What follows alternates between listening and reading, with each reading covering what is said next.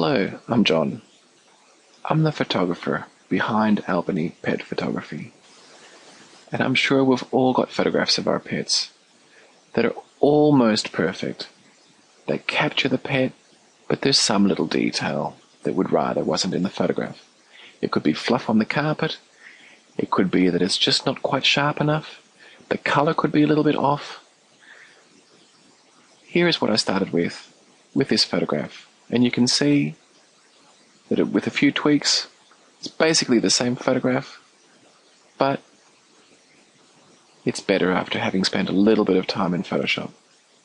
Now, I don't only Photoshop my own photographs.